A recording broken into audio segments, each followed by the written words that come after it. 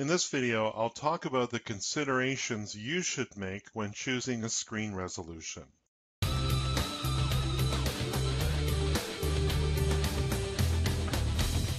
Not entirely a new concept. I've talked about this before when talking about doing needs analysis and considering uh, whether responsive design should be a part of your e-learning design.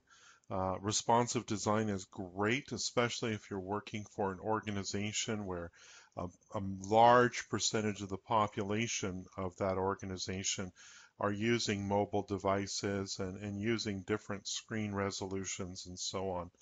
Um, certainly, if an organization is using modern equipment, you should be designing for HTML5.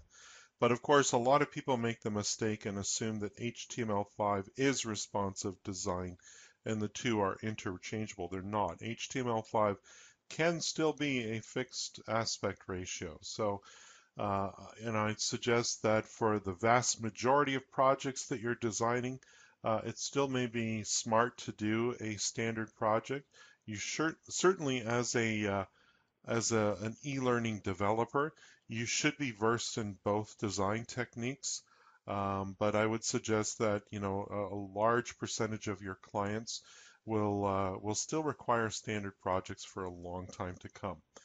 Um, as the bring your own device uh, trend in workplaces increases, that will change, of course. But for right now, most people are sitting in front of a desktop computer and uh, taking your e-learning using using that methodology. But um, there are some things that you need to consider when considering screen resolution.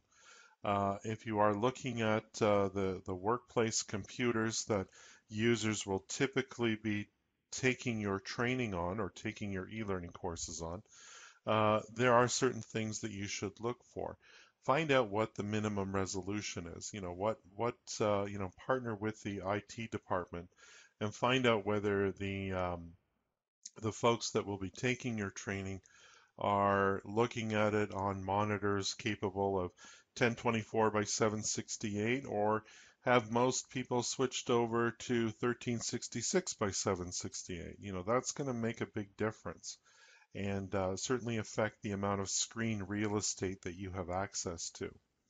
I found actually a really useful tool. It's a website actually called How Big is My Browser? And this is a really great tool. As you can see here, it simply displays, regardless of uh, what setting you put your your uh, your browser to, whether it's full screen and taking up the full width of the of the, uh, the computer monitor, it's going to give you the resolution, but not the resolution of the monitor, but all of this yellow space that you see here. And of course, they've got rulers down the uh, left-hand side and across the top to give you an idea of what that resolution is at different points. Uh, if, for example, you don't want people to run your e-learning courses full screen, maybe you can just arbitrarily select a screen size that might be appropriate and then design your training with these numbers in mind. Now you might be thinking, well, this is only applicable to standard projects, but keep in mind that, uh, you know, even with responsive design, there are some choices that you can make. Like for example, in this responsive design course, I've changed the, the breakpoints to be different values. I've actually gone to the minimum values that you can set them for but you could just as easily change these to maximize them as well. So for desktop, you can go as high as 1280, and then of course increase the width of all of the uh, all of the different breakpoints accordingly. Uh, obviously, the larger you go, the more opportunity to put content on that screen is there. Uh, but keep in mind that, of course, if your uh, if your audience is using a lot of smaller devices, that might not be ideal for all situations. And don't forget that you have the device height as well, and that's usually indicated uh, with this yellow bar that goes around the window here, but you can manually change that here. And incidentally, you can break the uh, or unlink from the device height a specific slide height. So you can set the height of, a, of just one slide let's say you have a slide where there's a whole mess of content and you're okay with people scrolling up and down on that page, you can actually set a slide height separate from the device height. So there's a lot of considerations to, to make here. And uh, you know, certainly there are tools that are available.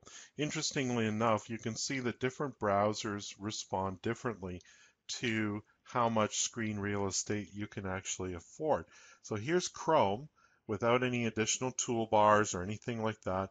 I'm getting 1920 by 1019. That's pretty big. Let's take a look at the classic Internet Explorer under the same conditions. In fact, 1920 by 1024, I actually get more space with uh, classic Internet Explorer. And if you've got a very corporate environment with a default Windows install, it's very likely that they're running some version of Internet Explorer. Uh, Windows 10 users will now also have the Edge browser, and uh, it, it, gives you a little bit less. It takes up a little bit more space up top here, 1920 by 1003. Now that's based on this particular monitor size. If users within a certain organization are using smaller monitors, uh, then this number is going to change, obviously. So that's something that's uh, important to note. I want to also give a, uh, a, shout out to Anita Horsley. Uh, she was able to, through a session that I attended of hers, share with me a way of actually doing some interesting things within Chrome. Um, you know, if you are, let's say, previewing your course that's been published, I should emphasize that this is a published course. I've published it to a folder on my computer. Here's my course. It's just a, a demo course I'm working on right now.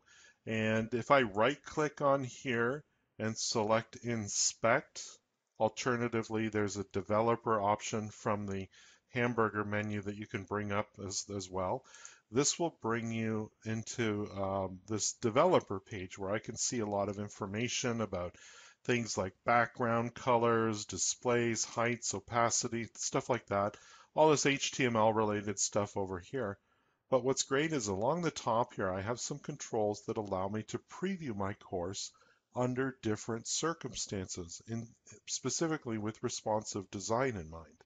So for example, I can select what this course would look like if I was previewing it on an iPad mini. I can also rotate the virtual device and see what it would look like in landscape mode as well. So a really great uh, preview tool if you want to see what your course would look like within the Chrome browser and under these different circumstances. So uh, definitely recommend that if you're not using Chrome, you should probably install it and get these added features. Hopefully this video has helped you guys out. If you guys think the videos that I'm producing for you are of good value, I encourage you to subscribe to my channel. And if you thought this particular video was uh, pretty good, go ahead and give me a thumbs up.